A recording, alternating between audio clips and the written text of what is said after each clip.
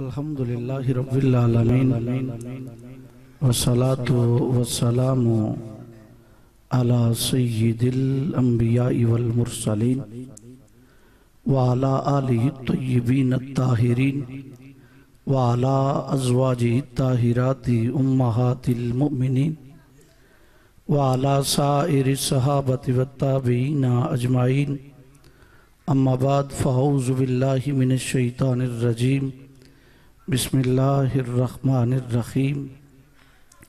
वमा अरसलनाका इल्ला रहमतल लिल आलमीन। सदकल्लाहु मौलानल अज़ीम व बल्लगना रसूलुहुन नबियुल करीमुल अमीन। व नहनु अला ज़ालिका लमिनश शाहिदीन व शाकिरीन। वल्हम्दुलिल्लाहि रब्बिल आलमीन। इन्नल्लाह व मलाइकतहु युसल्लूना नबी या अय्युहल्लज़ीना आमनू सल्लू अलैहि वसल्लिमु तस्लीमा। दरूद पाक बावाज़ बुलंद, अस्सलातु वस्सलामु अलैका या सय्यदी या रसूलुल्लाह, व अला आलिका व अस्हाबिका या हबीबल्लाह। अस्सलातु वस्सलामु अलैका या सय्यदी या रसूलुल्लाह, व अला आलिका व अस्हाबिका या शफीअल मुज़निबीन। अदब सरवर मुरसला आ रहे हैं। रिसालत के रूह रवा आ रहे हैं। बसद अज़म तो इज़्ज़ो शान आ रहे हैं। जलव में लिए कुदसियाँ आ रहे हैं। शहन शाह कौनो मकान आ रहे हैं। यही ज़िक्र है आज एक एक घर में, सितारों में, गुंचों में, गुल में, गहर में। यही धूम है हर तरफ़ बहरो बर में। मटाने को हर शर लिबास बशर में। मटाने को हर शर लिबास बशर में। शहन शाह कौनो मकां आ रहे हैं। ये सुबह मसरत के खुशियाँ मनाओ। दरूदो सलाम अपने होंठों पे लाओ। मोहम्मद के जलवों पे कुर्बान जाओ। अदब से नसीर अपनी आँखें झुकाओ शहन शाह कौनो मकान आ रहे हैं। शहन शाह कौनो मकां आ रहे हैं और वो हर आलम की रहमत हैं। किसी आलम में रह जाते, वो हर आलम की रहमत हैं। किसी आलम में रह जाते, उनकी मेहरबानी है कि ये आलम पसंद आया। उनकी मेहरबानी है कि ये आलम पसंद आया। इंतहाई इज़्ज़त व तकरीम के लायक किराम मोज़ मोहतशम आदरीन सामीन असलकम वरहमतुल्लाहि वबरकातुहू। असलकम वरहमतुल्लाहि वबरकातुहू। आपने बेशुमार अहबाब को अभी सुनना है। नातें भी होंगी, बाकी मामलात भी चलते रहेंगे, जैसे हुए। मैं सिर्फ़ बारह चौदह मिनट आपके लिए रहा हूँ, ज़्यादा वक्त नहीं लेना चाहता, क्योंकि आज हमारे मुआज़ मेहमान जो तशरीफ़ ला रहे हैं, हम उनसे सुनना चाहते हैं। तो अहबाब जी वकार, मैं जिस समत में आपको लेके जाना चाहता हूँ, अकीदे की चंद बातें अपने जेन नशीन करने की कोशिश कीजिएगा। ये प्रोग्राम आप को पहली दफ़ा नहीं सुन रहे, बेशुमार दफ़ा आपने ये प्रोग्राम सुने हैं। मैंने आयत करीमा पढ़ी है व मा अरसलना का इल्ला रहमत आलमीन। ए महबूब नबी अकरम सल्लल्लाहु अलैहि वसल्लम, हमने आपको सारे जहानों के लिए सरापा रहमत बनाकर भेजा है। हमने आपको सारे जहानों के लिए सरापा रहमत बनाकर भेजा है। आलमीन जमा है आलम की। अलामा बिजावी रहमा फरमाते हैं, आलम से मुराद क्या है? माँ सिवा अल्लाह फ़हुआ आलमुन। अल्लाह के अलावा कायनात में जो कुछ है, वो आलम है। अल्लाह के अलावा कायनात में जो कुछ है, वो आलम है। वमा अरसलना का इल्ला रहमत आलमीन ए महबूब नबी अकरम सल्लल्लाहु अलैहि वसल्लम, हमने आपको सारे जहानों के लिए सरापा रहमत बनाकर भेजा है। अगर इस बारीक नुक्ते को समझना चाहते हो तो एक जुमला से नशीन करने की कोशिश कीजिए। अल्लाह रब्बुल आलमीन है और महबूब रहमतुल्लिल आलमीन है। अल्लाह की जहाँ जहाँ की बरियाई है, वहाँ वहाँ मेरे मुस्तफ़ा की मुस्तफ़ाई है। अब देखिए जरा, रहमत, कैसे रहमत है और रहमत का लुगवी मतलब क्या होता है? रिक्कत, नरमी, दिल का पसी जाना, दिल के अंदर नरमी, हमदर्दी के जज्बात का पैदा हो जाना, इसे रहमत कहा जाता है।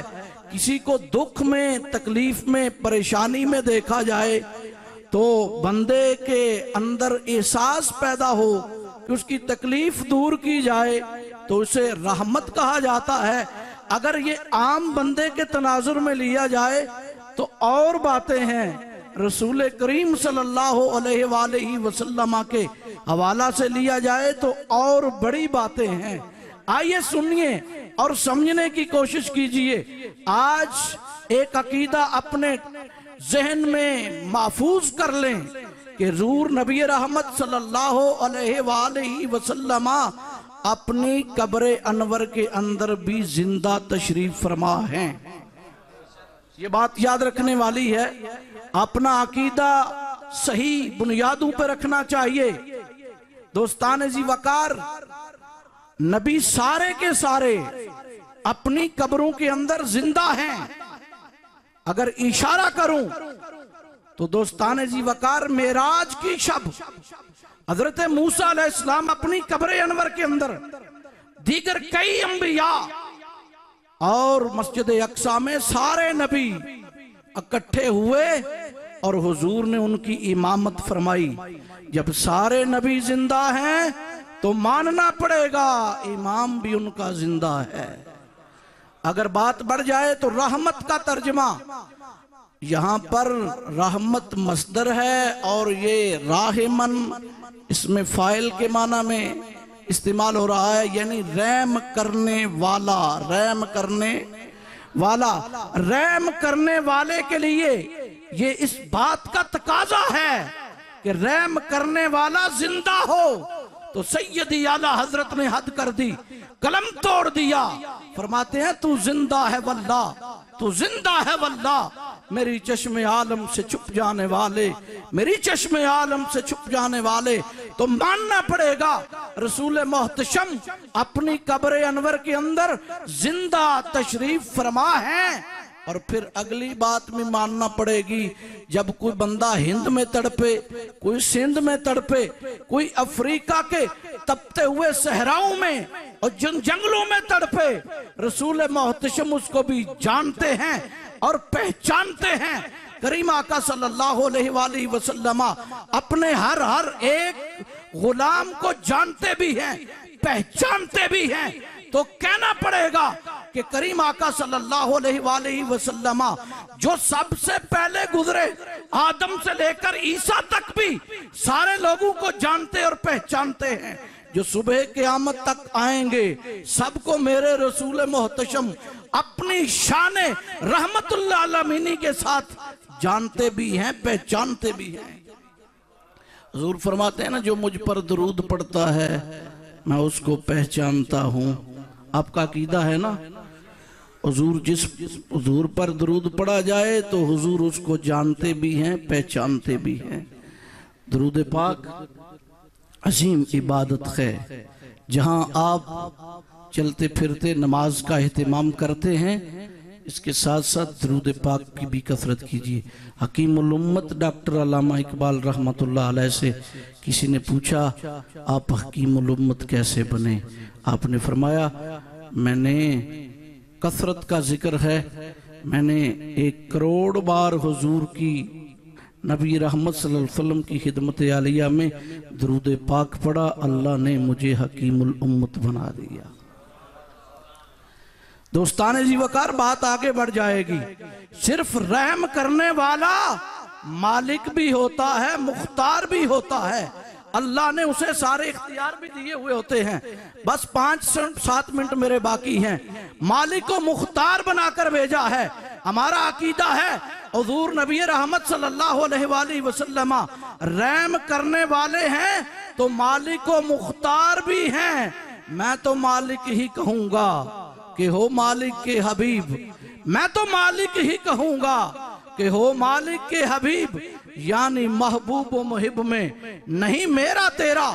जो चीज़ अल्लाह की है, वही चीज़ तो मेरे मुस्तफ़ा की है।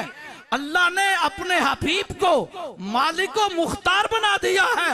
ए महबूब, जो चीज़ मेरे पास है, मैंने तुझे अता कर दी इन्ना आतना कल कौसर। हजूर ने इरशाद फरमाया ना, कि अल्लाह ने खजानों की चाबियाँ मुझे अता फरमा दी हैं। उस दिन अल्लाह के सारे खजानों की चाबियाँ भी हजूर के पास है ना ऐलान किया। बड़ी तवील हदीस है। मैं सारी हदीस नहीं पढ़ना चाहता। करीमा का सल्लल्लाहु अलैहि वसल्लम ने इरशाद फरमाया, अल करामतो वल मफाती हो यौमाइजिन बेयदी। ओ उस दिन उस दिन जब लग पता जाएगा, हर एक को अपने अपने मुकाम का, उस दिन अजम इज्जतों, सारी की सारी इज्जतें मुझ मोहम्मद के हाथ में होंगी और अल्लाह के खजानों की चाबियाँ भी अल्लाह मुझे अता फरमा देता है। दोस्तान जी वकार, परवरदिगार ने अता फरमा दी। फरमाया, वो सारी की सारी खजानों की चाबियाँ भी तो मुझ मोहम्मद के पास है ना।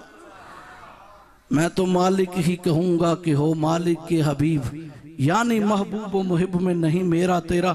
मुझे आपके वक्त का एहसास है। और हुजूर नबी रहमत सल्लल्लाहु अलैहि वसल्लम के बारे में अगला अकीदा, रहमत करने वाले के लिए ये बात ज़रूरी है कि वो हाजिर नाजिर भी हो। वो हाजिर नाजिर भी हो। पहली बात मैंने अर्ज़ की कि उसके लिए ज़रूरी है कि वो ज़िंदा हो और फिर हाजिर नाजिर भी हो। अब बात को समझने की कोशिश करें। जो रहम करने वाला है, जहाँ तशरीफ़ ले जाना चाहें। वैसे हमारा कीदा है, हजूर नबी रहमत सल्लल्लाहु अलैहि वसल्लम अपनी कब्र अनवर के अंदर ज़िंदा तशरीफ़ फरमा है। कब्र अनवर के अंदर ज़िंदा तशरीफ़ फरमा होकर जहाँ देखना चाहें, देख सकते हैं। आपके लिए कोई चीज़ रुकावट, हिजाब और पर्दा नहीं है। हजूर के लिए कोई चीज़ रुकावट भी नहीं है, हिजाब भी नहीं है। पर्दा भी नहीं है। गुंबद खजरा के अंदर तशरीफ़ फरमा होकर कायनात में जहाँ देखना चाहें, जहाँ देखना चाहें, हजूर जहाँ नज़र मारना चाहें, वहाँ नज़र मार सकते हैं। हजूर ने फरमाया, सारी कायनात मेरे ऐसे है जैसे मेरी हाथ की हथेली पर राई का दाना है। हाथ की हथेली पर राई का दाना, जहाँ नज़र मारना चाहें मेरे हुजूर नज़र मार सकते हैं, देख सकते हैं, और करम बाला ए करम करम बाला ए करम। हुजूर, जहाँ जलवागर होना चाहे, कोई चीज़ रुकावट, हिजाब और पर्दा नहीं है। दोस्तान जी वकार, मैं इन्हीं अल्फाज पे इजाज़त चाहूँगा, याद रखें। और सैयद आला हज़रत ने हद कर दी अकीदे के हवाले से। आप फरमाते हैं, जो रहम करने वाला है वो गैब दान होता है। वो गैब दान होता है। गैब को भी जानता है। और क्या गैब तुमसे हो नेहा भला सैयदी आला हज़रत ने लिखा, और क्या गैब तुमसे हो नेहा भला जब खुदा ही ना छुपा तुम पे करोड़ों दरूद। वाखरुदावाना अलहमदिल्ला रबीला माशाल्लाह, इंतहाई मुदल और बड़े ही हसीन पहराए में गुफ्तु फरमा रहे थे। कबिला उस्ताजुल करीम, अलामा मौलाना मलक शहबाज अहमद चिश्ती साहब।